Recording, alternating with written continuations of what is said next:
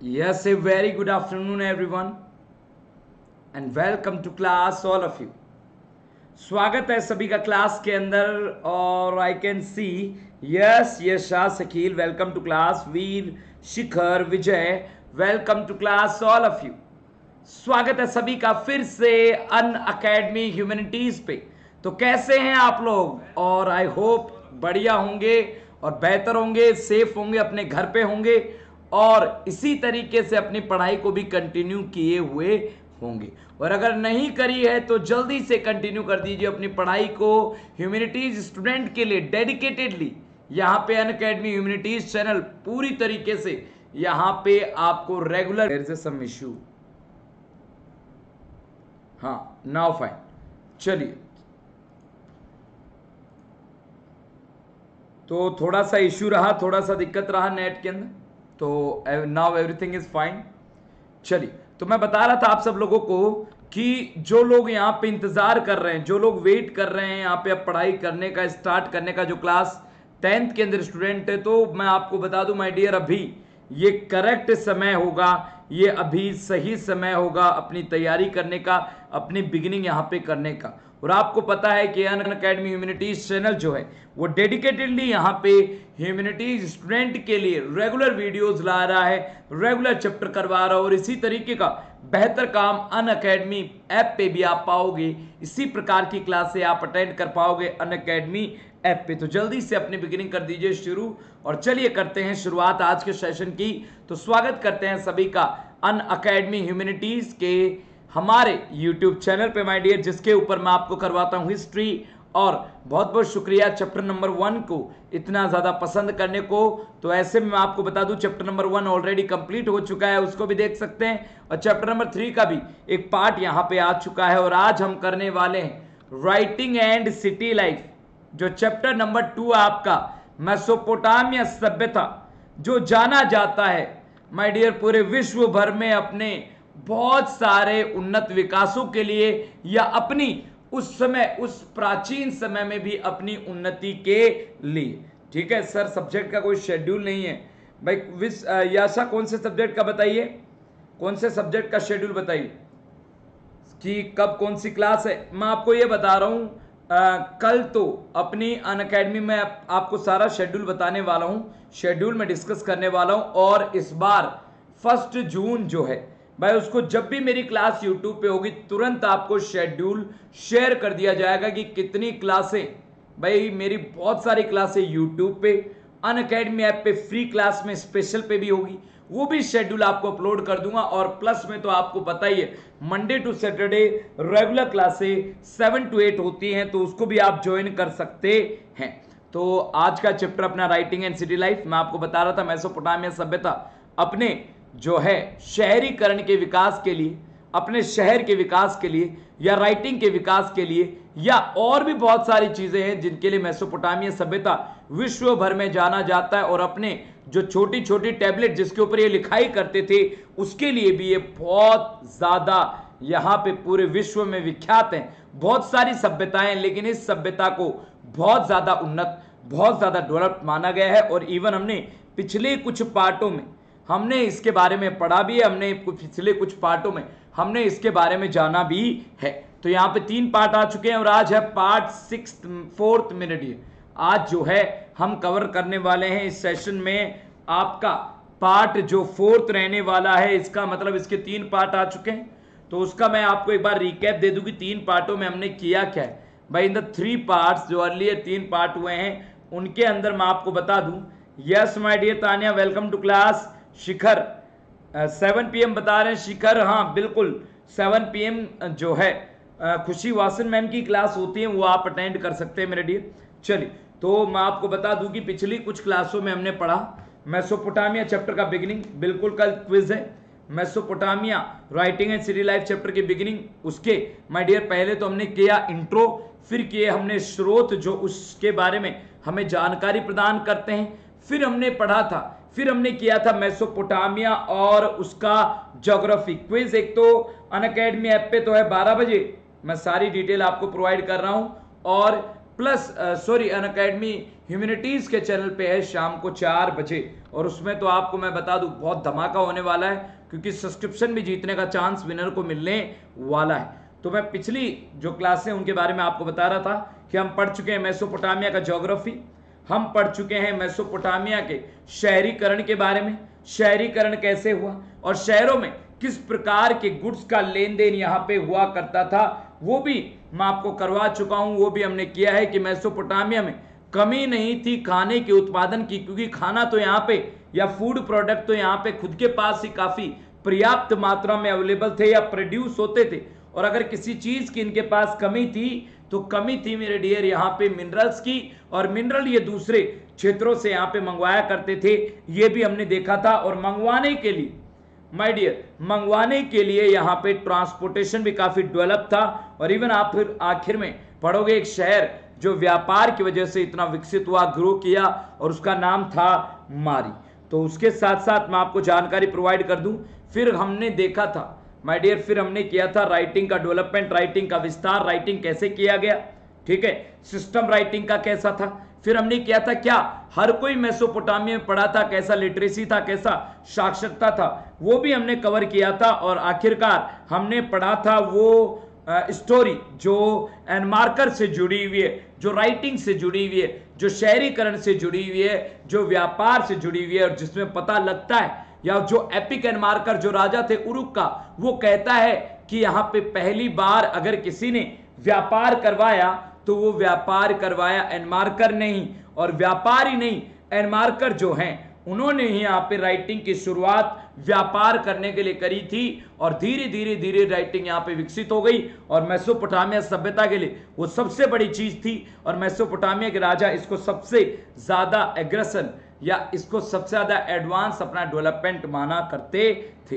ये सारी चीज़ें हो गई थी और आज हम करेंगे मैसोपोटामिया के शहरीकरण के बारे में। और आपको पता है, सबसे पहले शहर बसना हुए, वो हुए डेजर्ट वाला पार्ट जो साउथ वाला पार्ट है, उसके अंदर। और कैसे शहर आए, शहरों में राजा कैसे आए, कौन उसको कंट्रोल करता था, सारी चीज़ें करेंगे हम आगे, पढ़ेंगे हम आगे। तो उससे पहले मैं आपको बता दूँ, बहुत बड़ी खबर, बहुत बड़ी अनाउंसमेंट ठीक है, कि यहाँ पे अन अकेडमी जो है, वो स्टूडेंट की बेहतर प्रिपरेशन के लिए यहाँ पे पूरी तरीके से बेहतर से बेहतर चीज़ें हमेशा करता आया है। और आपको देखिए रेगुलर क्लासें मिलती है अन अकेडमी ऐप की तरफ़ से, या अन अकेडमी ह्यूमिनिटीज़ जो चैनल है उसकी तरफ़ से। तो भाई, आपको मैं सबसे बड़ी चीज़ बता दूँ कि इतनी मेहनत लगती है, इतनी सारी चीज़ें मिलती हैं, आपको इतना कंटेंट मिलता है फ्री ऑफ़ कॉस्ट मिलता है, ठीक है? तो और इवन अगर जो चार्जेस वाला भी होता है प्लस सब्सक्रिप्शन भी तो वो भी काफ़ी आपको इकोनॉमिक रेट पे अन अकेडमी प्रोवाइड करता है। तो सबसे पहले तो यहाँ पे चैनल को लाइक बनता है और साथ ही साथ देखिए संडे को 30 मई को 2021 30 मई 2021 को चार बजे आ रहा है। इसी संडे को अन अकेडमी का Menti premier league Menti premier league यानी कि हिस्ट्री का प्रीमियर लीग ठीक है? और इसके अंदर मैं करवाऊँगा आपको मेंटी बैटल या मेंटी क्विज। और इसके विनर के पास बहुत सारी चीज़ें होंगी भाई जीतने को। मैंने आपको बताया, ये ग्रांड फिनाले है मेंटी प्रीमियर लीग का। तो इसमें चीज़ें बहुत ज़्यादा हैं आपके पास जीतने को। चांसेस बहुत ज़्यादा हैं। जैसे फ़र्स्ट प्राइज मिलेगा यहाँ पे 12 मंथ का सब्सक्रिप्शन सेकंड प्राइज मिलेगा छह महीने का सब्सक्रिप्शन थर्ड प्राइज मिलेगा यहाँ पे तीन महीने का सब्सक्रिप्शन और ऐसे में भाई, यहाँ पे जीत सकते हो, यहाँ पे क्लास सिक्स से लेके ट्वेल्थ के इस तरीके से subscription just by participating in this quiz भाई, ये सिंपल सा क्विज होगा, जिसके अंदर हिस्सा लेंगे तो क्लास मेंटी में कैसे करना है? भाई मेंटी में www.menti पे जाना है। मैं आपको उस समय कोड दूँगा और उसको आपको जो है वहाँ पे आंसर करना है। मैं सारा समझा दूँगा, नियम आपको बता दूँगा। नियम एक तो यह है कि एन अकेडमी आप डाउनलोडेड होना चाहिए। आपकी प्रोफ़ाइल वेरीफाइड होनी चाहिए। और एक नियम ये भी है कि यहाँ पे जो है अन अकेडमी ह्यूमनिटीज चैनल को सब्सक्राइब किया हुआ होना चाहिए। तो चलिए, इसको आप फॉलो करिएगा, ध्यान दीजिएगा। और जो स्टूडेंट यहाँ पे भाई इस तरीके का जो है मौके की तलाश में उनके लिए बेहतर मौका अन अकेडमी प्रोवाइड कर रहा है। साथ ही साथ आपको बता दूँ स्पेशल क्लास जो आज होने वाली ट्वेंटी मई को लेट एंटीक्विटी रोमन एम्पायर की ये अन अकेडमी ऐप पे होगी। भाई, मैंने आपको बता दिया अन अकेडमी ऐप पे जो है, मेरे डियर दो प्रकार की क्लासें होती हैं। एक तो प्लस और एक स्पेशल प्लस सब्सक्रिप्शन के थ्रू आप ले सकते हैं, चाहे प्लस सब्सक्रिप्शन ले लीजिए, चाहे आइकोनिक लेकिन स्पेशल क्लासेस कोई भी ले सकता है, कोई भी स्टूडेंट उसको एसेस कर सकता है। फ्री ऑफ़ कॉस्ट और ऐसी क्लासें आती रहती हैं अन अकेडमी ऐप पे शाम को साढ़े आठ बजे। और इसका कोई चार्ज कोई पैसा Unacademy hello Veer welcome to class ठीक है? बिल्कुल बिल्कुल। ठीक है? आ, जो है। Hello Veer welcome to class my dear और इसका कोई चार्ज इसका कोई पैसा नहीं लगता? है इस क्लास में एंटर करने का सिर्फ़ लगता है तो एक कोड जो हमारा एक कोड है जो मैं आपको प्रोवाइड करता हूँ वो है A J Y D live ये कोड बड़े काम का है भाई। इसी कोड से आप फ्री क्लास में एंट्री लेते हो। इसी कोड से आपको प्लस सब्सक्रिप्शन पे भी बेनिफिट मिलता है। दस परसेंट डिस्काउंट उसके ऊपर भी मिलता है। तो बहुत सही है आपके लिए अन बहुत सही अपॉर्चुनिटीज़ स्टूडेंट के लिए प्रोवाइड कर रहा है और आपको एक जानकारी और दे दूँ कि मेरे यूट्यूब का टाइमिंग जो है माय डियर मैंने फिक्स कर दिया है दिन में 12 बजे। तो आप लोग बिल्कुल मत यहाँ पे जो है पजल नहीं रहिएगा कंफ्यूज मत रहिएगा कि सर की क्लास कब होती है। सर की क्लास 12 बजे। भाई कभी कभी इधर उधर हो सकती है, बाकी जो है बिगिनिंग से होते हो Vansh welcome to class my dear special class का टाइमिंग साढ़े आठ बजे है। संडे को भी मेरी फ्री क्लास होती है, हर संडे को। और अगले संडे को भी होगी। फ्री क्लास होगी। क्लास इलेवंथ की 12 बजे क्विज होता है। क्लास ट्वेल्थ का दो बजे क्विज होता है। फ्री होता है। और इस बार मैं चैप्टर नंबर टू के क्विज इसमें करवाने वाला हूँ तो ज़रूर इसमें पहुंचेगा साथ ही साथ आपको एक चीज़ और बता दूँ मंडे को भी आपकी जो है चैप्टर नंबर वन की मेंटी आएगी। मंडे को चैप्टर नंबर वन का मेंटी आएगा यूट्यूब पे वो भी। ठीक है? प्लस आपको कोड बता ही चुका हूँ A J Y D live use करो और 10 परसेंट डिस्काउंट यहाँ पे पाओ। तो चलिए करते हैं बिगिनिंग करते हैं शुरुआत। बहुत बहुत शुक्रिया, बहुत बहुत धन्यवाद यहाँ पे समय देने को, पढ़ने को। तो वीडियो को लाइक कर दीजिए, अपने दोस्तों शेयर कर दीजिए और ह्यूमिनिटी चैनल को फॉलो कर लीजिए ताकि इसी तरीके का जो है सब्सक्राइब कर लीजिए ताकि आपको रेगुलर वीडियो मिलती रहे। रन अकेडमी प्लस के काफ़ी फ़ायदे हैं। तो बहुत सही समय है यहाँ पे आके अपनी रेगुलर बिगिनिंग करने का रेगुलर शुरुआत। करने का। तो पिछली क्लासों में हम पढ़ चुके हैं यहाँ पे मैसोपोटामिया सभ्यता का। माय डियर जो है ज्योग्राफी उसका इंट्रो उसके बारे में, उसके शहरों के बिगनिंग के बारे में, व्यापार के बारे में, ठीक है? और इस चैप्टर में हम क्या जानेंगे, क्या पढ़ेंगे, उसके बारे में भी। क्या वो स्रोत है जो इसके बारे में हमें जानकारी देते हैं? ठीक है? बिल्कुल वंश मैं पहचान गया मेरे डियर ठीक है? वो भी हमने कर चुका था। वो भी हमने क्लियर किया था। फिर हमने पढ़ा था मेसोपोटामिया का जोग्राफी मैसोपोटामिया का जोग्राफी में देखा था कि मैसोपोटामिया जिस तरीके से हमारा भारत है, उसी तरीके से मैसोपोटामिया जो इराक के अंदर बसा हुआ था, वो भी डाइवर्स एनवायरमेंट का क्षेत्र था। मतलब कहीं पे रेगिस्तान है तो कहीं पे घास के मैदान है तो कहीं पे प्लेन है तो कहीं पे पठार है। तो इसी तरीके से यहाँ पे कहने का मतलब जो है माय डियर पूरा का पूरा डाइवर्स एनवायरमेंट यहाँ पे जो है मैसोपोटामिया का था, वो हमने कवर किया था। खाना कैसा खाते थे, वो हमने कवर किया था। ठीक है, फिर शहरीकरण का इंपोर्टेंस क्या था? वो भी पिछली क्लास में हमने कवर किया था। और कैसे गुड्स का लेन देन होता था? या कैसा ट्रेड होता था वो भी हमने कवर कर लिया था। और राइटिंग का डेवलपमेंट कैसे होता था राइटिंग का विकास कैसे हुआ धीरे धीरे लिखाई कैसे हुई और कैसे जो राइटिंग है वो यहाँ पे लिखा गया और राइटिंग जो स्क्रिप्ट यहाँ पे डेवलप हुआ, वो यूनिफॉर्म हुआ। टेबलेट टेबलेट के ऊपर किसी प्रकार की नुकीली चीज़ से, इस तरीके से कुरेद के वो राइटिंग करते थे। ये भी पिछली क्लासों में मैं आपको करवा चुका हूँ। ठीक है? रीड क्या होता है? लिखाई कैसे करते थे? यूनिफॉर्म उसको क्यों कहते थे? सारी चीज़ें राइटिंग का उपयोग किस पर्पज के लिए किया जाता था? सारी की सारी चीज़ें मैं आपको बहुत बेहतरी से करवा चुका हूँ एंड आई होप आपको कोई दिक्कत नहीं रही होगी, कोई प्रॉब्लम नहीं रहा होगा। ठीक है? राइटिंग का सिस्टम यहाँ पे कैसा था वो भी आपको हो चुका है। लिटरेसी ठीक है? माय डियर मैं क्लास ट्वेल्थ को भी पढ़ाता हूँ, मेरे डियर बिल्कुल पढ़ाते हैं, और उनकी भी रेगुलर क्लासें होती हैं। और लिटरेसी में हमने देखा था कि हर कोई नहीं पढ़ लिख सकता था। बहुत कम लोग यहाँ पे पढ़ लिख सकते थे क्योंकि काफ़ी मेहनत, मशक्कत का कार्य ये होता था।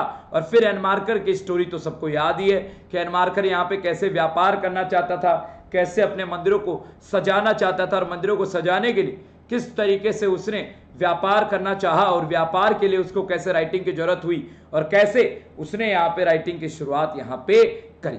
तो चलिए करते हैं बिगिनिंग करते हैं शुरुआत आज के टॉपिक की, आज की क्लास की और आज का टॉपिक है आज की जो क्लास है, मेरे डियर उसमें हम पढ़ेंगे जो अर्बनाइज अर्बनाइजेशन है, या जो शहरीकरण है साउदर्न मेसोपोटामिया सबसे पहले तो मैं आपको एक जानकारी दे दूँ कि भाई, हमने पढ़ा था ज्योग्राफी वाले पार्ट में, या ज्योग्राफी के अंदर हमने किया था कि मैसोपोटामिया का जो साउथ वाला पार्ट था साउथ वाला पार्ट बोले तो सुमेर वाला पार्ट ठीक है? भाई साउथ वाला पार्ट और साउथ में सबसे पहली सभ्यता जो मैसोपोटामिया सभ्यता की बसी, मेरे डियर उसकी अगर प्लस क्लास देखो तो वो तो होती है चार से पाँच, ठीक है? और अगर आप देखना चाहो जो है यूट्यूब क्लास तो वो होती है मेरे डियर यहाँ पे जो है बारह से एक की। इसी टाइम पे अल्टरनेट में चलती है, कभी इलेवंथ की हो जाती है, कभी ट्वेल्थ की। और कल है जो है माय डियर मेरी क्लास ट्वेल्थ की भी क्लास है। एक तो दो बजे अन अकेडमी ऐप पे फ्री क्लास है, उसका कोई चार्ज नहीं लगेगा। और इसी तरीके की क्लास आपको मिल जाएगी।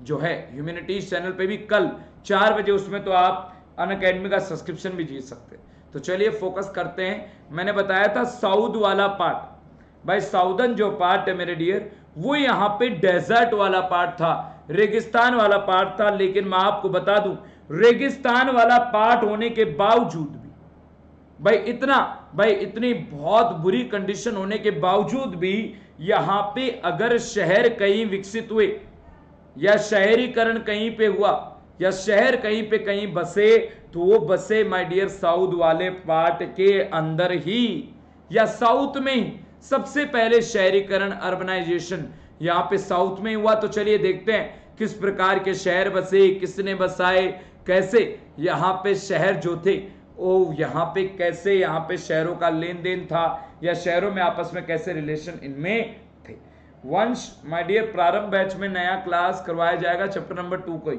चैप्टर नंबर टू को ही कवर करवाऊँगा क्योंकि उसमें चैप्टर नंबर वन और चैप्टर नंबर थ्री तो हो चुका है। तो सीक्वेंस में चलने देंगे उसको तो वो हम यहाँ पे करवा देंगे। तो चलिए करते हैं शुरुआत, करते हैं बिगनिंग शहरीकरण मैसोपोटामिया का और टेंपल और टाउन यानी कि पढ़ेंगे मंदिर कैसे थे, राजा का उससे कैसा लेन देन था तो मैं आपको बता दूँ कि 500 बीसी के अराउंड सॉरी 5000 बीसी के अराउंड ही। भाई 5000 बीसी के अराउंड ही सेटलमेंट जो हैं, वो आने लग गए थे या वो बसने लग गए थे मैसोपोटामिया सभ्यता में।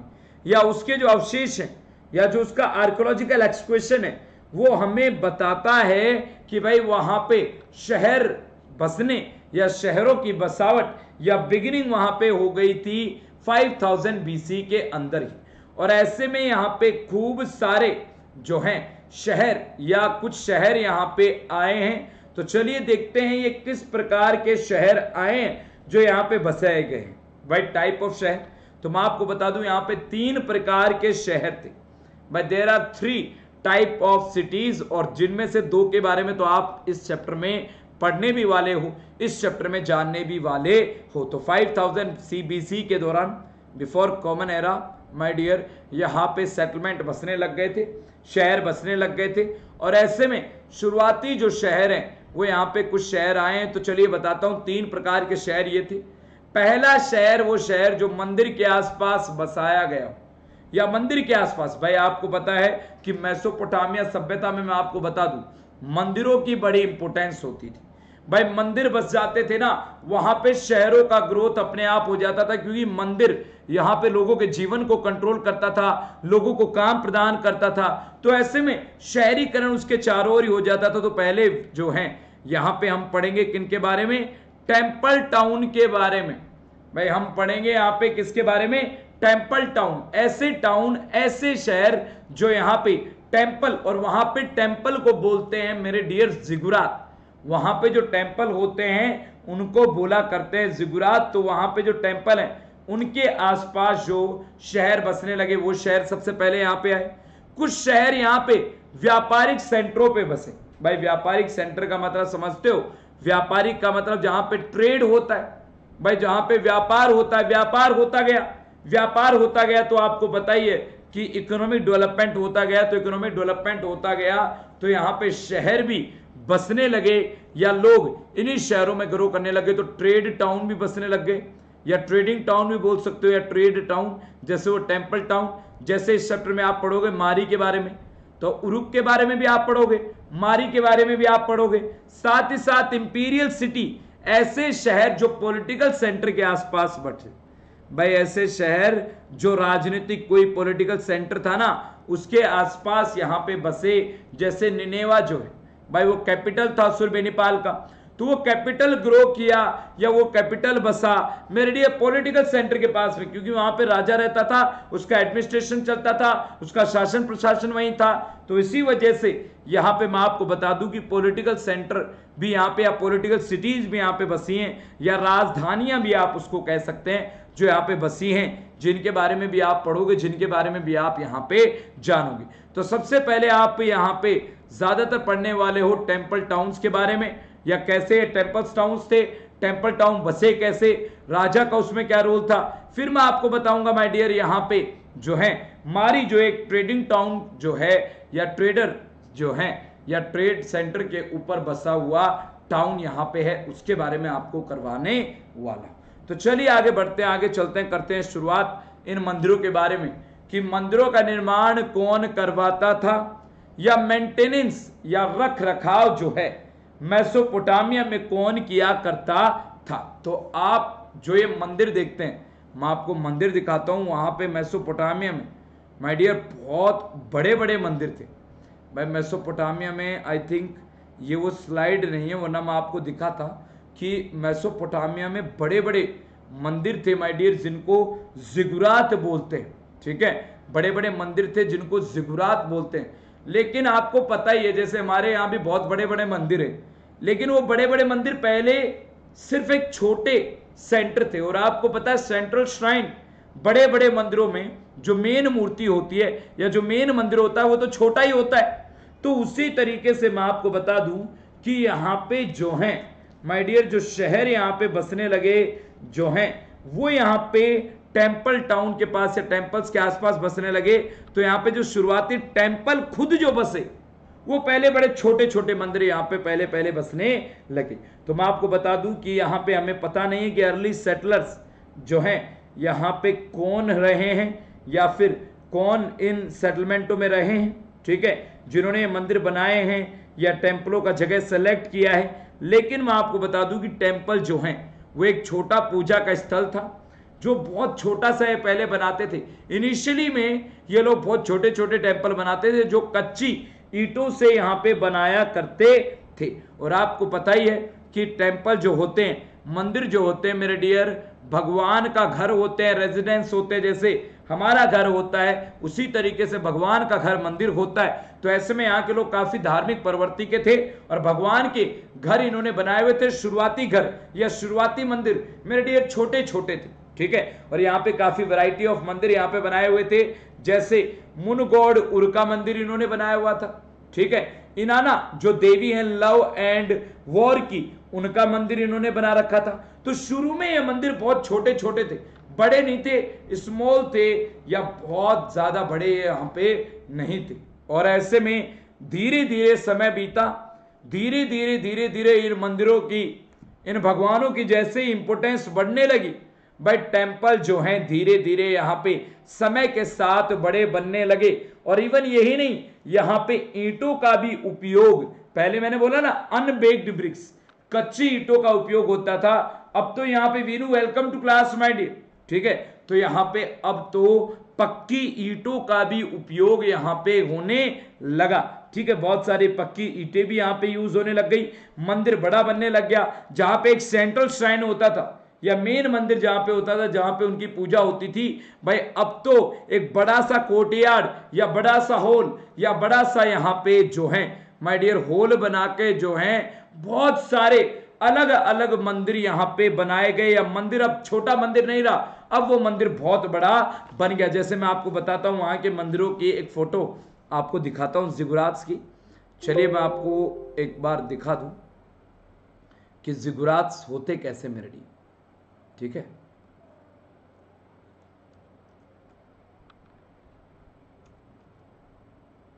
चलिए। जिगुरात देखिए, कुछ इस प्रकार के मंदिर होते हैं। कुछ इस प्रकार के मंदिर होते हैं मेरे डियर। देखिए, कितना बड़ा है, कितना भव्य है भाई, कितना बड़ा है, कितना भव्य मंदिर है ये। तो इस तरीके से सॉरी सॉरी सॉरी सॉरी तो इस तरीके के मंदिरों का निर्माण ये क्या करते थे या इस तरीके का मंदिर ये लोग जो हैं, वो बनाया, यहाँ पे करते थे। ऐसे ऐसे मंदिर, पहले छोटे थे, सिर्फ़ छोटा सा मंदिर यहाँ पे हुआ करता था। और फिर तो मैं आपको बता दूँ, ये बड़े बड़े मंदिर यहाँ पे बनाने लग गए, या मंदिर मंदिर जो हैं, वो यहाँ पे बड़े बड़े होने लग गए बहुत सारे रूम कोटियार के चारों रूम भी यहाँ पे ये लोग बनाने लगे। चलिए अब आगे बढ़ते हैं, आगे चलते हैं। तो ऐसे ऐसे ऐसे मंदिर यहाँ पे बनने लग गए या बढ़ाए जाने लग गए। ठीक है? अब मंदिर जो है, भाई, अब आपको पता है कि यहाँ पे जो है मंदिर, अब आपको पता है, एक तो मंदिर एक सेकुलर प्लेस है, भगवान का वास है और एक घर है। भाई, वो हमारा रेजिडेंस है, मंदिर भगवान का रेजिडेंस है। तो ऐसे में यहाँ पे जो घर है, वो माय डियर मंदिर जो है, वो यहाँ पे अलग तरीके से, ठीक है? यहाँ पे अलग तरीके से ऑर्डनरी घरों से डिफरेंट यहाँ पे उसको बनाया जाता था। और ऐसे में वैसे ज़्यादा अलग तो नहीं दिखता था, लेकिन उसको अलग दिखाने के लिए ये लोग जो हैं, उसके अंदर जो दीवारें हुआ करती थी, जो उसकी दीवार थी माय डियर उसको ये कुछ इस तरीके से बनाते थे कि देखने वाले को दूर से ही नज़र आ जाए या दिख जाए कि ये मंदिर है, ये सेकुलर प्लेस है सॉरी ये रिलीजियस प्लेस है, ये धर्म से जुड़ी हुई जगह है, ये जिगुरात है तो टेंपल की जो दीवारें होती थी, भाई टेंपल की जो ये दीवारें बनाते थे मेरे डियर इन टेंपलों की दीवारों को ये जिग्जैग शेप में बनाते थे। कैसे बनाते थे? जिग्जैग शेप में जिग्जैग इस तरीके से। भाई, एक बार अंदर जाएगी दीवार, या तो इस तरीके से मान लो कि भाई एक बार अंदर गई, फिर बाहर आई, फिर अंदर गई, फिर बाहर आएगी।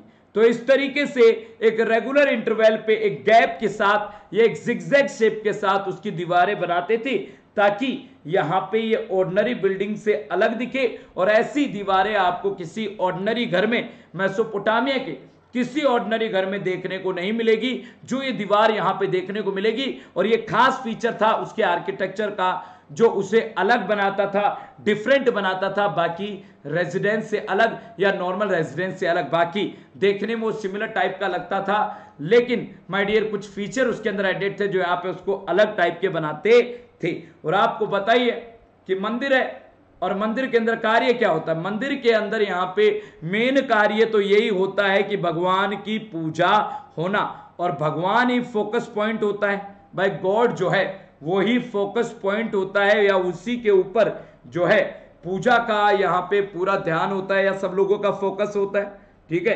और ऐसे में यहाँ पे अब आपको पता है अगर आप मंदिर जाते हो, हम कोई मंदिर जाते हैं तो हम भगवान को ऑफरिंग करते हैं ना भाई? क्योंकि भगवान को माना जाता है कि वो सब चीज़ों का या सबका मालिक एक, या फिर बोलते हैं ना भाई डियर कि सब भगवान के द्वारा ही दिया गया है तो हम भगवान को यहाँ पे प्रसाद चढ़ाते हैं। सर, आप बड़े मंदिर पहाड़ को काट के, वो पहाड़ की काट वाले मंदिर हमारे यहाँ पे मिलेंगे आपको। वो मंदिर हमारे कैलाश नाथ और ये मंदिर आपको मिल जाएँगे मेरे डियर वहाँ बड़े बड़े मंदिर बनाए थे, बहुत सारे बड़े बड़े यहाँ पे पत्थरों का उपयोग करके, उनकी मदद से यहाँ पे बनाया था, पत्थरों को काट के नहीं बनाया गया था मेरे डियर आनंद। चलिए तो मैं आपको बता दूँ मेन पूजा का यहाँ पे मेन जो फोकस होता था, वो गॉड होते थे, उनकी पूजा यहाँ पे होती थी। ठीक है? और यहाँ पे एक चीज़ और आपको बता दूँ कि जो लोग यहाँ पे आते थे, ठीक है? चाहे देवी हो, चाहे देवता हो, उनको लोग प्रसाद चढ़ाते थे या चढ़ावा उनको यहाँ पे देते थे, या तो दही का, या माय डियर अनाज का, या फ़िश का, ठीक है? और आप बोलोगे, वहाँ पे हमें ये कैसे पता चला? तो भाई, जो वहाँ का फ्लोर मिला है, या वहाँ पे एक्सक्वेशन के बाद जो एविडेंस मिले हैं, वो ये हमें बताते हैं कि यहाँ पे मछली की बोन्स भी मिली हैं और भी बहुत सारी चीज़ें मिली हैं जो हमें कंफर्म करती हैं कि ये लोग वहाँ पे भगवान को ये चीज़ें चढ़ाया करते थे। Yes Pravesh very good evening my dear good afternoon my dear welcome to class Pravesh चलिए तो यहाँ पे क्यों चढ़ाते हैं? क्योंकि माना जाता है भगवान जो है, ठीक है, भगवान जो है वो थियोरटिकल ऑनर है मेरे भगवान मालिक है, पूरे के पूरे खेतों का पूरे की पूरी मछलियों का, पूरे के पूरे जितना भी हम इकोनॉमिक एक्टिविटी करते हैं या भेड़ बकरी पालन करते हैं, और इसीलिए लोग जो हैं, इस तरीके से भगवानों की इंपोर्टेंस रखते थे या भगवानों को बड़ा ही माना करते थे और इस तरीके की चीज़ें भगवानों के मंदिरों में लाके चढ़ाया करते थे या भेंट यहाँ पे किया करते थे। ठीक है? तो ऐसे ऐसे में यहाँ पे जो है, बड़े, ये तो पूजा से जुड़ी हुई चीज़ें हो गई। कि मंदिर में लोग आते थे, पूजा करते थे, चीज़ें चढ़ाते थे, लेकिन इसके अलावा भी, भाई मंदिर अब सिर्फ़ एक सिंपल मंदिर नहीं रहा था। मंदिर अब एक सिंपल मंदिर नहीं रहा था। अब तो ये एक एक्टिविटी सेंटर बन गया था अब तो ये अब एक अर्बन इंस्टीट्यूशन या शहरी संस्था बन गई थी जो पूरे शहर को कंट्रोल करती थी या पूरे शहर का हर एक चीज़ का छोटी छोटी चीज़ों का यहाँ पे ध्यान रखती थी। तो मैं आपको बता दूँ, मंदिर के अंदर बहुत सारी एक्टिविटी होती थी, जैसे ऑयल प्रेसिंग ठीक है? माय डियर ऑयल या तेल निकालना, ठीक है? ग्रेन ग्राइंडिंग माय डियर यहाँ पे अनाज जो अनाज है, उसकी पिसाई करना या आटा पिसाई करवाना, ठीक है? सिलाई करवाना या बुनाई करवाना, वुलन के कपड़ों का वो भी मंदिर यहाँ पे करवाता था। तो ऐसे में मैं आपको बता दूँ, आपको जानकारी दे दूँ कि मंदिर जो है, यहाँ पे लॉट ऑफ़ एक्टिविटी या वैरायटी ऑफ़ एक्टिविटी यहाँ पे करवाने लग गया है या वैरायटी ऑफ़ एक्टिविटी यहाँ पे करवा रहा है। तो मंदिर अब एक सिंपल जगह नहीं बचा। भाई, अब मंदिर जो है, एक सिंपल जगह नहीं बचा। अब मंदिर एक अर्बन इंस्टीट्यूशन बन चुका है और ऐसे में यहाँ पे ये बहुत सारे कार्य भी करवाता है। इवन लोगों को रोज़गार भी देता था। भाई, मैं आपको बता दूँ, जो लोग थे, वो यहाँ पे काम करते थे और बदले में मंदिर जो है, उनको यहाँ पे किसी प्रकार का राशन या खाने की सामग्री या चीज़ें या इक्विपमेंट या टूल यहाँ पे देता था। तो ऐसे में मंदिर धीरे धीरे यहाँ पे क्या हो गया, एक अर्बन इंस्टीट्यूशन में बनने लग गया। वो यहाँ पे किसी प्रकार की एक्टिविटी करवाने लग गया। लोगों को, व्यापारियों को काम पे रखने लग गया, ठीक है? व्यापारियों को यहाँ पे मर्चेंट को काम पे रखता था, उनसे व्यापार करवाता था, चीज़ें मंगवाता था, और इवन भाई जो चीज़ें आती थी या जो व्यापार शहर में होता था, उसका लेन देन भी उसके डिस्ट्रीब्यूशन का लेन देन भी यहाँ पे मंदिर रखता था। और ऐसे में यही नहीं माय डियर मैं आपको बता दूँ कि यहाँ पे जो है रिकॉर्ड भी रखता था या अलॉट भी करता था, जो लोग वहाँ पे काम करते थे, उनको राशन देने का या राशन प्रोवाइड करने का कार्य भी करता था। जैसे अलॉटमेंट अनाज का किसको किया गया, कितना किया गया, उसकी जानकारी करता था, या राशन कितना दिया गया, या प्लो एनिमल है या कोई जो है ऑक्शन किसी को अलॉट किया गया दिया गया तो किसको दिया गया? ब्रेड कितना दिया गया? बियर कितना दिया गया? फ़िश कितना दिया गया? तो ऐसे में मंद, अब मंदिर सिर्फ़ एक सिंपल पूजा का स्थल या रिलीजियस स्थल या वर्शिप प्लेस नहीं रहा। मेरे डियर यहाँ पे जो है यस मेरे dear Pravesh thank you so much मेरे डियर अब मंदिर यहाँ पे वैरायटी ऑफ़ एक्टिविटी करवा रहा है। एक्टिविटियों के साथ साथ लोगों को काम पे रख रहा है। भाई चीज़ें डिस्ट्रीब्यूट कर रहा है, लोगों के जीवन को कंट्रोल कर रहा है, राशन प्रदान कर रहा है, व्यापार करवा रहा है, व्यापार का लेन देन यहाँ पे मंदिर कर रहा है मतलब variety of work variety of कार्य यहाँ पे मंदिर करवाने लग गया है। अब ये अर्बन इंस्टीट्यूशन या शहरी संस्था बन गई है, जो पूरे शहर को कंट्रोल कर रही है, और माना जाता था कि शहर उस मंदिर का जो पुरोहित होता था या मुखिया होता था, जो मेन पुजारी होता था, वो ही पूरे उस सेंटर को कंट्रोल करता था या उस पूरे शहर को यहाँ पे कंट्रोल उसी के द्वारा किया जाता था। तो ये तो बातें हो गई मेरे डियर ठीक है? ये तो चर्चाएँ हो गई हमने टेंपल टाउन के बारे में टेंपल टाउन कैसे बसे, कैसे क्या हुआ? लेकिन माय डियर यहाँ पे इन टाउनों में खतरे भी बढ़े थे, ठीक है? इन टाउनों की और आगे बढ़ते, इन टाउनों की समस्याओं की ओर। हम आगे ध्यान बढ़ाते हैं कि इन टाउनों में, चलो ठीक है, मंदिर ऐसे कार्य करता था और ये सब होता था, ये तो ठीक है। चलिए, अब मैं आपको बताता हूँ, और भी बहुत सारी चीज़ें थी, ठीक है, जो हमें इस टाउनों के बारे में जाननी है। तो मैं आपको बता दूँ कि यहाँ पे जो है इन टाउन्स के आसपास, या फिर माय डियर मैं आपको बता दूँ, जो ये शहर थे, ये जो सेटलमेंट थे, ठीक है, या फिर जो ये अर्बन सेटलमेंट थे इनके बाहर कृषि होती थी एग्रीकल्चर होता था। तो ऐसे में फर्टिलिटी बढ़िया थी, क्योंकि आपको पता है साउथ वाला पार्ट रेगिस्तान था। लेकिन दो नदियों के बीच बसे होने की वजह से, दो नदियाँ यूफ्रेट्स और टिग्रिस के ऊपर बसे होने की वजह से बड़ा उपजाऊ था। ठीक है, भाई यहाँ पे बहुत उपजाऊ था तो ऐसे में आपको तो लग रहा होगा कि यहाँ पे तो बहुत प्रोडक्शन हो रहा है, यहाँ पे तो बहुत विकास हो रहा है। लेकिन ऐसा नहीं था। कई बार यहाँ पे बहुत सारी समस्याएँ भी रहती थी या यहाँ के लोगों को बड़ी प्रॉब्लम यहाँ पे झेलनी पड़ती थी, जो साउथ वाले जो लोग थे, ठीक है? जो साउथ वाले जो लोग थे, उनको बड़ी समस्याएँ या बड़ी प्रॉब्लमों को भी झेलना पड़ता था या बड़ी प्रॉब्लमों का भी सामना करना पड़ता था। कृषि बहुत ज़्यादा फर्टिलिटी की वजह से यहाँ पे विकसित था, लेकिन उसके अलावा माय डियर कृषि जो है, वो खतरे का भी यहाँ पे, या खतरे के अंदर भी गिरा रहता था। भाई, खतरे में ऐसे कैसे गिरा रहता था, वो मैं आपको बता दूँ कि यहाँ पे क्या होता था भाई, आपको पता है, सब कुछ साउथ वाला जो शहर या साउदर्न मेसोपोटामिया का जो पार्ट है, उसमें हर एक चीज़ किसके ऊपर डिपेंडेंट है? पानी के ऊपर डिपेंडेंट है। भाई, पानी आएगा तभी तो उपजाऊपन होगा। पानी आएगा, तभी तो खेतों में सिंचाई होगी। और तभी तो यहाँ पे क्या होगा? फ़सल लगेगी, तभी एडवांसमेंट होगा। लेकिन हमने देखा है, भाई हमने देखा है, या आर्कोलॉजिकल रिकॉर्ड हमें बताते हैं, जो अवशेष है, वो हमें ये जानकारी देते हैं कि यहाँ पे नीचे वाले खेतों तक पानी कई बार पहुँचता ही नहीं था, या कई बार इन लोगों को गाँव बदलने पड़ते थे।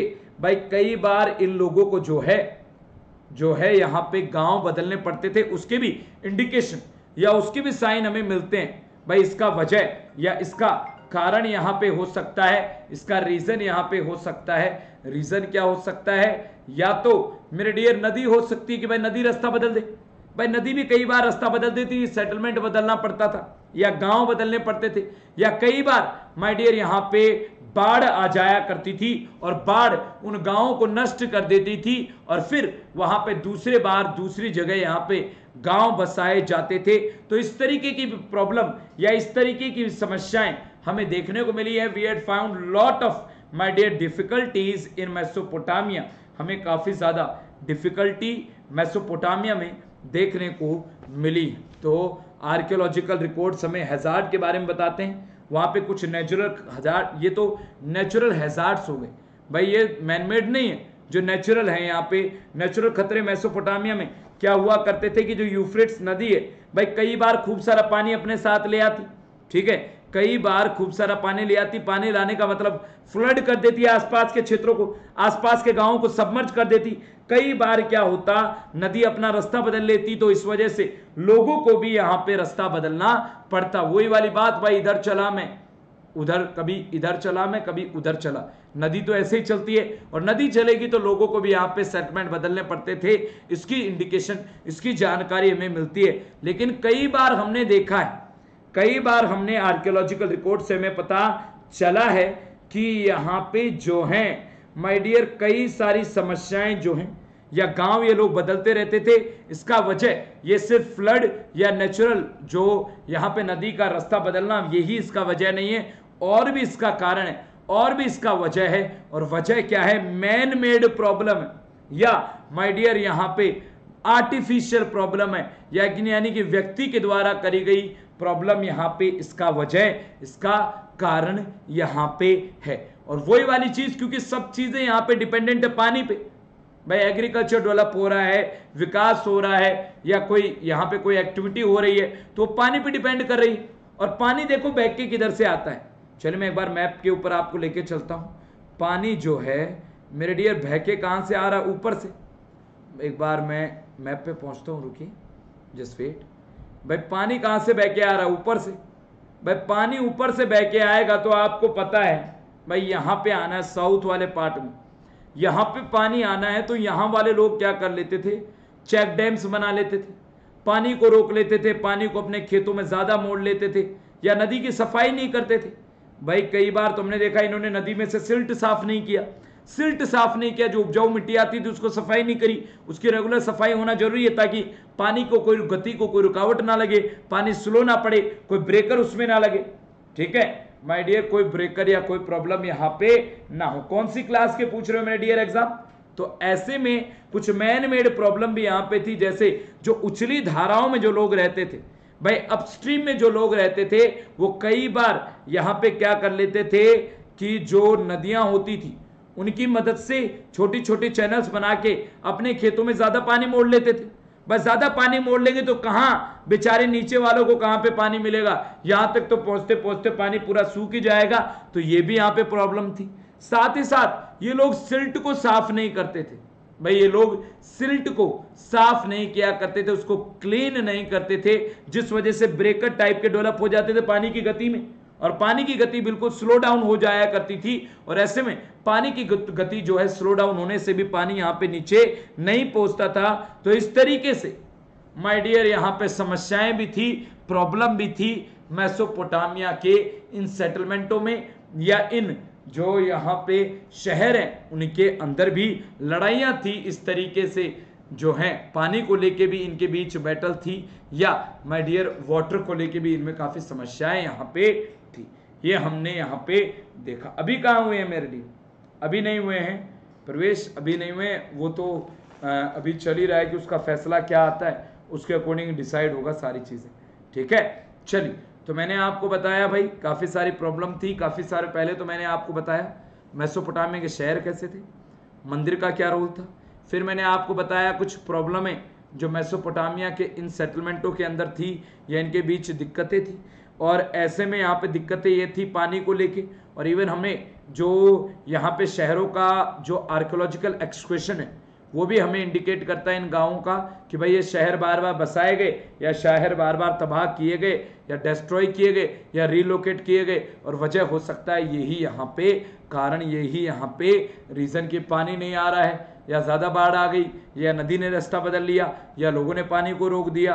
तो कई सारी समस्याएँ हमें पानी को लेके यहाँ पे देखी गई हैं। तो ऐसे में मैसोपोटामिया के जो लोग हैं, भाई, उनके अंदर यहाँ पे काफ़ी ज़्यादा झगड़ा था, काफ़ी ज़्यादा लड़ाई थी किसको लेके, पानी को लेके और ज़मीन को लेके, जो आज भी होती है। भाई, आज भी हमारे यहाँ पे काफ़ी राज्य लड़ते रहते हैं कि भाई, हमारे पास पानी नहीं है, हमारे पास पानी नहीं छोड़ते बराबर।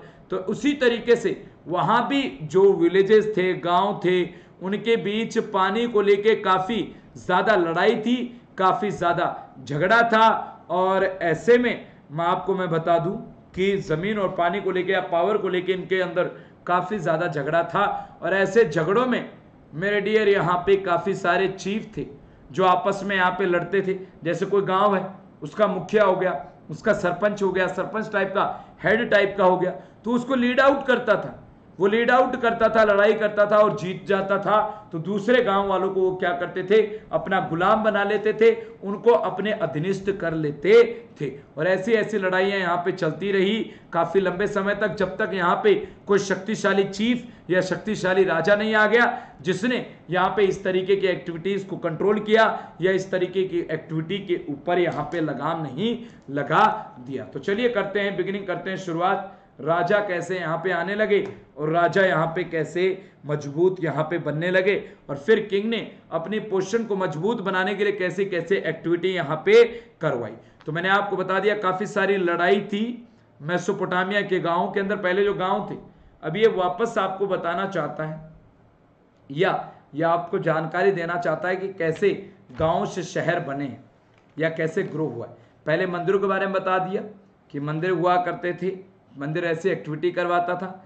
फिर गाँव के अंदर इनके, जो आसपास के गाँव थे मंदिर के, उनमें कैसी लड़ाइयाँ थी, ठीक है? उनमें कैसे झगड़े थे, उसके बारे में बता रहा है। फिर यहाँ पे इन झगड़ों को ठीक करेगा कौन? चीफ, ठीक है?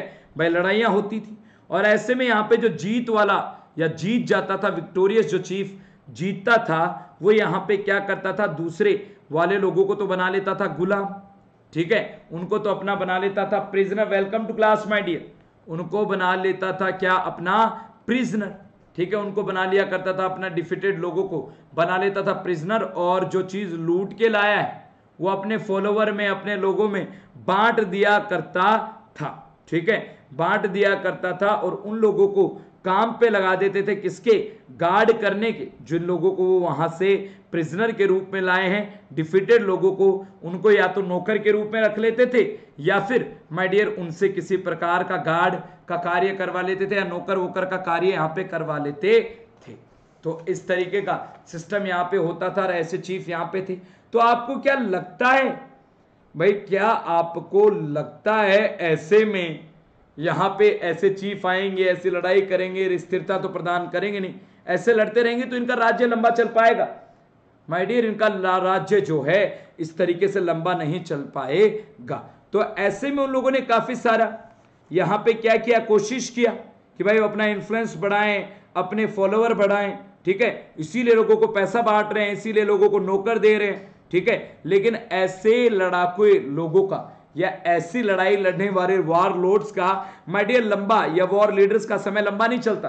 भाई आज वो किसी से लड़ रहे हैं, कल वो किसी से लड़ेंगे और उनकी हार हो जाएगी। आज वो यहाँ पे हैं और कल वो यहाँ पे नहीं होंगे। तो ऐसे में यहाँ पे आवश्यकता थी, ठीक है? यहाँ पे ऐसे में यहाँ पे ज़रूरत पड़ी कि भाई एक ऐसा सिस्टम हो या एक ऐसा इंस्टीट्यूशन हो जो यहाँ पे इसको पूरे को कंट्रोल करे, ठीक है? तो ऐसे में यहाँ पे क्या हुआ? धीरे धीरे धीरे धीरे यहाँ पे मांग हुई, समय आगे बढ़ा। ऐसे लीडर जो हैं, वो यहाँ पे कम्युनिटी के वेलबींग के बारे में सोचने लग गए। नए इंस्टीट्यूशन के बारे में, नए प्रैक्टिसों के बारे में वो सोचने लग गए। अब वो उन्होंने देखा, भाई, लड़ाई लड़ुई करके हमें कुछ नहीं हासिल होना। इस तरीके से तो हम यहाँ पे हार ही जाएँगे, हम यहाँ पे चले ही जाएँगे। तो उन्होंने यहाँ पे सोचा, कुछ लंबा तरीका सोचना पड़ेगा या कुछ लंबी मेथड यहाँ पे सोचनी पड़ेगी या लंबा तरीका यहाँ पे करना पड़ेगा जिससे मेरे डियर क्या हो? लोग सम्मान भी करें, लोग इज़्ज़त भी करें, और हमारा समृद्धता भी बढ़े, और हमारा सम्मान भी या फिर हमारा समय भी यहाँ पे बढ़े। तो ऐसे में क्या हुआ?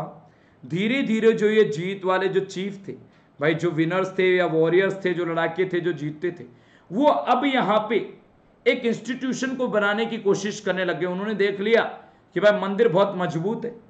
मंदिर काफ़ी ज़्यादा यहाँ पे लोगों को डोमिनेट करता है। तो क्यों ना मंदिर का सहारा लिया जाए? क्यों ना मंदिर की मदद से मेरे डियर अपनी भी पोषण को मज़बूत किया जाए? तो इन लोगों ने क्या किया पता है? इन लोगों ने अब पैसा अपने फॉलोवर को बांटने के साथ साथ इन्होंने उस पैसे को अपने मंदिरों को सजाने के लिए भी देना शुरू कर दिया। भाई, उन्होंने यहाँ पे उस पैसे का उपयोग अपने मंदिरों को भी सजाने के लिए यहाँ पे करने लग गए। तो धीरे धीरे धीरे धीरे ये लोग यहाँ पे अपनी पकड़ बना रहे हैं, लोगों के सम्मान, इज़्ज़त बना रहे हैं, ठीक है? तो यहाँ पे जो लोग हैं, यहाँ पे मंदिरों को सजाने लग गए और इवन यही नहीं, भाई लोगों को बाहर भी भेजने लग गए कि बाहर से महँगे महँगे पत्थर लाओ महँगे महँगे मेटल लाओ, ताकि भगवान को सजाया जा सके, ताकि भगवान को सजाया जा सके या कम्युनिटी भगवान को सजाया जाएगा। तो इससे क्या होगा? कम्युनिटी भी यहाँ पे जो है और ज़्यादा आगे बढ़ेगी, या अग्रसर यहाँ पे होगा। ठीक है? तो ऐसे में benefit of god and community and organise the distribution of temple wealth in efficient way by account भाई यहाँ पे क्या करने लग गया? पूरी तरीके से हर एक चीज़ का पूरा ध्यान रखने ये लोग लग गए। जैसे पूरी तरीके से मंदिरों को सजाने लग गए। कैसे सजाते थे? For the benefit of god and community ठीक है? भगवान या कम्युनिटी की भलाई के लिए, ताकि आपको पता भगवान प्रसन्न होंगे, भगवान खुश होंगे तो ऐसे में कम्युनिटी की भलाई होगी। और यही नहीं, यहाँ पे जो हैं, ये लोग जो टेंपल जो वेल्थ है, या फिर organise the distribution of temple wealth और जो टेंपल का जो वेल्थ है, उसको भी ये लोग जो हैं, यहाँ पे डिस्ट्रीब्यूट करने लग गए, या बांटने लग गया उसको, यहाँ पे कहने का मतलब पूरी तरीके से टेंपल की पकड़ टेंपल की मदद से ये पूरे राज्य पे या पूरे अंपायर पे अपने पे पकड़ यहाँ पे बनाने लग गए। तो यहाँ पे जो डिस्ट्रीब्यूशन है टेंपल की वेल्थ का, उसका भी यहाँ पे पूरा ब्यौरा रखने लग गए कि क्या चीज़ें आ रही हैं। उसका रिकॉर्ड कीपिंग करने लगे पूरी तरीके से। भाई पूरी तरीके से हर एक चीज़ का यहाँ पे ब्यौरा राजा करवाने लग गया। अब राजा यहाँ पे मज़बूत बन रहा है। भाई पहले मंदिर आया, फिर मंदिरों के यहाँ पे लोगों में आपस में लड़ाइयाँ थी, फिर यहाँ पे चीफ आया फिर एक चीफ आया जिसने यहाँ पे मंदिरों को सजाया, मंदिरों को इंपोर्टेंस दी और स्थिरता का सोचा और वो यहाँ पे अब मज़बूत बन रहा है। अब वो यहाँ पे मंदिर की जो वेल्थ है उसको भी डिस्ट्रीब्यूट कर रहा है, लोगों के बीच या बांट रहा है या राशन बांट रहा है या मंदिर की मजबूती भी यहाँ पे बढ़ा रहा है या मंदिर को भी मज़बूत बना रहा है और साथ ही साथ अपनी पोजिशन को भी मज़बूत यहाँ पे बना रहा है और यहाँ पे रिकॉर्ड कीपिंग भी कर रहा है। जो व्यापार हो रहा है, उसका रिकॉर्ड भी यहाँ पे पूरी तरीके से धर रख रहा है। तो ऐसे में अब राजा की यहाँ पे स्टेटस बढ़ेगा, उसकी अथॉरिटी या पावर बढ़ेगी मेरे लिए। ठीक है? अब राजा ऐसी एक्टिविटी करवाने लग गया। राजा स्थिर आ गया, राजा मज़बूत बन गया। राजा अपने कम्युनिटी के भलाई के कार्य कर रहा है। राजा अपने मंदिरों को सजाने के कार्य कर रहा है। साथ ही साथ, वो यहाँ पे जो मंदिर की वेल्थ है, उसको भी यहाँ पे रिकॉर्ड रख के इन एंड आउट पूरी तरीके से किसको क्या दिया गया, क्या लिया गया, उसका भी ब्यौरा रखने लग गया। तो ऐसे में इस चीज़ ने लोगों की नज़रों में राजा को एक हीरो बना दिया। भाई, यहाँ पे उसका स्टेटस बढ़ा दिया, उसका अथॉरिटी यहाँ पे लोगों की नज़रों में यहाँ पे बढ़ा दिया। ठीक है? लोगों की नज़रों में यहाँ पे बहुत ज़्यादा अथॉरिटी बन गया और इवन यहाँ पे आपने देखा भी होगा एनमार्कर की पोएम कि यहाँ पे कैसे वो मंदिरों को सजा के अपना स्टेटस बनाना चाहता था या अपनी अथॉरिटी बनाना चाहता था टू कमांड द कम्युनिटी कि कैसे वो को कम्युनिटी को कमांड कर सके। इसीलिए तो वो यहाँ पे मंदिरों को सजा रहा था। ऐसे ऐसे कार्य वो कर रहा था और ऐसा ही यहाँ पे होने लगा। और इसी तरीके से यहाँ पे ऐसे मज़बूत मज़बूत चीफ यहाँ पे आने लग गए ना। मज़बूत मज़बूत चीफ यहाँ पे क्या करने लग गए? यहाँ पे विकास करने लग गए। और ऐसे मज़बूत चीफ जो पड़ोस के गाँव वाले थे, जो गाँव थे, उनको अब अट्रैक्ट करने लगे कि आ जाओ अब आप लोग। भाई पहले खुद को मज़बूत बनाया धीरे धीरे फिर यहाँ पे जो है और भी गाँवों को यहाँ पे अट्रैक्ट करने लगे कि आ जाओ भाई, हमारे पास आके बस जाओ, ताकि अपने आप को भी सिक्योर कर सको। और यहाँ पे जो है माय डियर मिलिट्री की भी डिमांड जो है, वो भी पूरी हो सके, ताकि हम सिक्योर रह सके प्रोटेक्ट करने, रह सके। तो इसी तरीके से सेटलमेंट ग्रो करने लग गए। सेटलमेंट बढ़ने लगे। और इसमें योगदान रहा किसका? राजा का किंग का। जिसने यहाँ पे ऐसे कार्य किए, जैसा योगदान उसने यहाँ पे दिया। जिसने यहाँ पे लोगों को आसपास आके यहाँ पे बसने के लिए अट्रैक्ट किया और ऐसे में माना जाता है कि यहाँ पे लोग पास में आके बस रहे थे। क्यों? क्योंकि पास में रहने से या प्रॉक्सिमिटी में रहने से, एक दूसरे के पास रहने से सेफ्टी रहती है या सेफ़ जीवन रहता है या सेफ़ लाइफ रहता है और इसी वजह से शहरों का उदय हुआ। पहले एक गाँव थे, फिर इन गाँवों का चीफ यहाँ पे आया। फिर चीफ ने यहाँ पे लोगों को अट्रैक्ट किया, फिर और भी गाँवों को अपने साइड अट्रैक्ट कर लिया और मंदिर का भी यहाँ पे अथॉरिटी को बढ़ा दिया और अपनी भी अथॉरिटी को यहाँ पे बढ़ा दिया। और इसी तरीके से ये छोटे छोटे जो गाँव हैं या फिर सारे के सारे गाँव मिलके बड़े सेटलमेंटों में बन गए या यहाँ पे बढ़ गए और ऐसा ही एग्ज़ाम्पल आपको देखने को मिलेगा। इसी तरीके का एग्ज़ाम्पल माय डियर यहाँ पे आपको देखने को मिलेगा। उरुक जो है भाई, उरुक जो है, वो एक अर्लीस्ट टेंपल टाउन है। भाई बहुत प्राचीन टेंपल टाउन है, जो यहाँ पे था, ठीक है? और जिसमें हमें काफ़ी बड़े पैमाने पे जब एक्सप्रेशन हुआ, ठीक है? तो पता चलता है कि ये काफ़ी बड़ा सेटलमेंट था 250 हेक्टेयर में, भाई, फैला हुआ था और 3000 हज़ार बीसी के अराउंड ये बसा हुआ था और 250 हेक्टेयर में फैला हुआ था। और जो हड़प्पाई जो सॉरी मोहनजोदारो जो हड़प्पा का सेटलमेंट है, जो 125 हेक्टेयर का है, उसका डबल ये यहाँ पे था। और ऐसे में हमें यह भी पता चलता है कि काफ़ी सारे गाँव खाली हुए थे और उन्हीं गाँवों से लोग भाग के, Shreya welcome to class my dear उन्हीं गाँवों से लोग भाग के या उन्हीं गाँवों से लोग जो हैं, यहाँ पे खाली कर करके उरुक शहर में रहने आए। थे और उरुक शहर इसी तरीके से मज़बूत बना था, इसी तरीके से ग्रो किया था, इसी तरीके से उसका बिगनिंग यहाँ पे हुआ था। और ऐसे में हमने देखा कि गाँवों को खाली किया गया, लोग माइग्रेट कर गए पेज नंबर 38 पे पहुँच गया हूँ, ठीक है? और ऐसे में काफ़ी सारी जनसंख्या जो है, गाँव से निकल निकल के शहरों की ओर भागी या शहरों में बसने लगी। और इसी वजह से मैं आपको बता दूँ कि उरुक शहर काफ़ी बड़ा बन गया था आपको मैं बता दूँ कि उरुक शहर जो है, उसके चारों ओर चार दीवारी भी है मेरे लिए। भाई, उसके चारों डिफेंसिव वॉल भी है उस समय में। और ये जो सेटलमेंट है, काफ़ी लंबे समय तक ऑक्युपाइड रहा।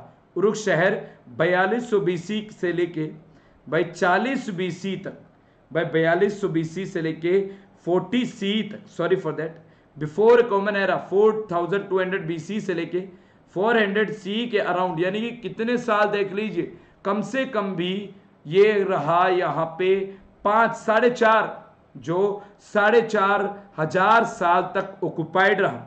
कभी ये बढ़ता बड़ा बड़ा बनता रहा, कभी ये छोटा बन गया।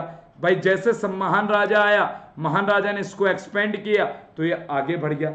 और जैसे जैसे वीक राजा आए, ये कमज़ोर हो गया। तो ऐसे में मैं आपको बता दू, ये साइट काफ़ी लंबे समय तक ऑक्युपाइड रही, ठीक है? और 2800 बीसी में तो ये 400 हेक्टेयर में फैल गई थी। कितने में? 400 हेक्टेयर में फैली हुई थी, जहाँ 3000 बीसी के अंदर ये सिर्फ़ 250 हेक्टेयर में फैली हुई थी। वहीं मेरे डियर 2800 बीसी में, मात्र 200 सालों के गैप में ये सभ्यता जो है, वो 4000 हेक्टेयर में फैल गया था। उसके अंदर ये ग्रो यहाँ पे कर गया था। और ऐसे में इन शहरों में मैं आपको जानकारी दे दूँ इन शहरों के अंदर खूब सारे लोग यहाँ पे काम करते थे, खूब सारे लोग यहाँ पे रहते थे। पहले ये सिर्फ़ एक मंदिर था। मंदिर के बाद में यहाँ पे आया राजा। राजा ने यहाँ पे इन मंदिरों को सजाया और साथ ही साथ लोगों को अट्रैक्ट किया और एक इंस्टीट्यूशन बनाया राजा तंत्र का, जिसमें लोगों को बसाया और उरुक जैसे शहर बसाए और उरुक जैसे शहर यहाँ पे बढ़ाए। तो अगली क्लास में मैं आपको बताऊँगा कि इन शहरों में कार्य कैसे होते थे वर्क कैसे होते थे, काम कौन करता था? एक तो वो वॉर कैप्टिव जो स्लेव्स थे, वो कार्य करते थे, या लोकल पीपल भी यहाँ पे कार्य करते थे और उनको बदले में राशन दिया जाता था? क्या राशन दिया जाता था? और कितना काम वो करते थे? क्या पेमेंट उनको दिया जाता था? और कैसे कैसे यहाँ पे क्राफ्ट प्रोडक्शन भी हुआ करते थे? उनके बारे में भी आपको जानकारी दूँगा अगले पार्ट में। अगले पार्ट में हम उनके बारे में भी पढ़ेंगे। तो मुझे उम्मीद है आज की क्लास काफ़ी मज़ेदार रही होगी। आप लोगों को काफ़ी मज़ा आया होगा। और अगले पार्ट में मैं बताऊँगा भाई कैसा जीवन मैसोपोटामिया के शहरों में हुआ करता था। कैसा वहाँ की शादियों का सिस्टम था। कैसे वहाँ की टाउन प्लानिंग थी, शहरीकरण था। कैसे वहाँ के लोगों के अंधविश्वास थे। तो बड़ा मज़ा आने वाला है। बहुत बेहतर होने वाली है क्लासे। बहुत आपको बहुत बेहतरी से करवाने वाले हैं सारी की सारी चीज़ें। तो अगले टॉपिक काफ़ी मज़ेदार होने वाले हैं। ये पार्ट फाइव में आएगा। तो जल्दी से जल्दी सारे लोग इस पार्ट को देखो। मुझे पता है कि आप लोग रिकॉर्डेड में ज़्यादा देखते हो। तो उसको देखें और डिमांड करें कमेंट करके मुझे बताएँ वीडियो को लाइक करें। और ज़्यादा से ज़्यादा जब डिमांड मुझे लगेगा, तब मैं तुरंत इसका पार्ट यहाँ पे आपके सामने पेश कर दूँगा।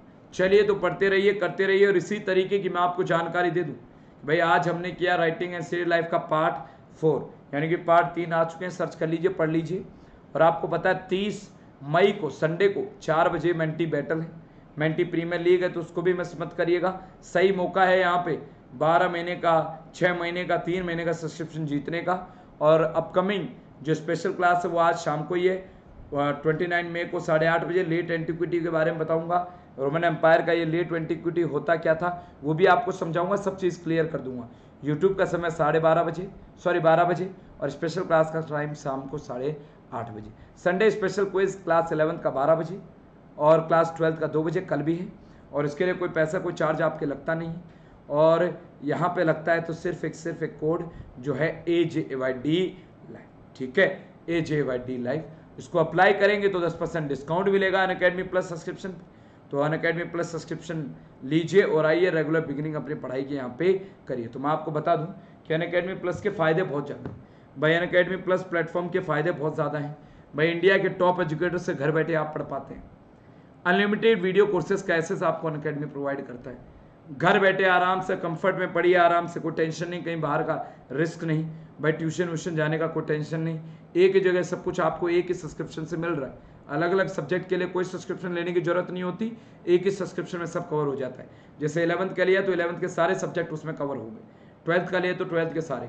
रेगुलर डाउट क्लियर होंगे। ठीक है? पूरा कोर्स कवर करवाया जाएगा। बैच कोर्सेज होंगे। स्टडी मटेरियल मिलेगा। प्रैक्टिस टेस्ट दे सकते हो। साथ ही साथ यहाँ पे जो है मेंटर्स का गाइडेंस भी पा सकते हो। सारी चीज़ें आपको मिलेगा और प्रोवाइड करेगा अन अकेडमी माइडिया तो पढ़ते रहिए और काफ़ी किफ़ायती। मैं तो आपको सजेस्ट करूँगा कि चौबीस महीने का सब्सक्रिप्शन क्लास इलेवंथ और ट्वेल्थ के लिए दोनों के लिए बेहतर रहेगा। इलेवंथ भी पढ़ लेंगे, चौबीस भी ट्वेल्थ भी पढ़ लेंगे, और अभी तो चौबीस के ऊपर चार महीने और फ्री ठीक है? या फिर लेना चाहो तो अट्ठारह पे तीन महीने फ्री ये भी ले सकते हैं। अट्ठारह पे तीन महीने, ये भी, और बारह पे दो महीने फ्री दे रहा है, ये भी ट्राई कर सकते हैं, ये भी ले सकते हैं, बाकी लंबा सब्सक्रिप्शन सबसे बेहतर रहता है, और बहुत किफ़ायती पड़ता है जब आप अप्लाई करते हो उसमें code A J Y D live A J Y D live apply करो, और ऐसे में डिस्काउंट पाओ और बहुत सारे बैचेज अन अकेडमी यहाँ पर चला चुका है तो उसके अंदर भी एनरोल कर सकते हैं। बैचेज हैं, देखिए यहाँ पे क्लास इलेवंथ के बैचेज आपको दिखाऊँ। प्रारंभ बैच इस बैच में तीन चैप्टर हो चुके हैं, मैं आपको बता दूँ। इस बैच में तीन चैप्टर हो चुके हैं तो इसको भी ज्वाइन कर सकते हैं। एक बैच है, जो अभी रिसेंट में स्टार्ट हुआ है, उसमें चैप्टर नंबर वन बिगिनिंग हुआ चैप्टर नंबर वन से बिगिनिंग हुई है तो वो भी वहाँ पे अटेंड कर सकते हैं। Let's crack final examination batch जो है, ये भी यहाँ पे रिसेंटली शुरू हुआ है। तो उसको भी ज्वाइन कर सकते हैं। तो बहुत सही अपॉर्चुनिटी है आपके पास। बहुत सही और बहुत बढ़िया अपॉर्चुनिटी है अन अकेडमी पे आके अपने रेगुलर पढ़ाई करने का रेगुलर बिगिनिंग अपने पढ़ाई का करने का। तो भाई डियर सोचना किस बात का? आए अन अकेडमी प्लस पे और रेगुलर करें अपनी बिगिनिंग और जल्दी से। भाई, अगर वीडियो को लाइक नहीं किया है तो लाइक कर दो चैनल को सब्सक्राइब कर दो, ताकि आपको इसी तरीके का बेहतर कंटेंट आपको हम प्रोवाइड कर सकें। और इस कोड को अप्लाई करके भाई आ जाइए अन अकेडमी प्लस पे, क्या क्योंकि काफ़ी फ़ायदे हैं वहाँ।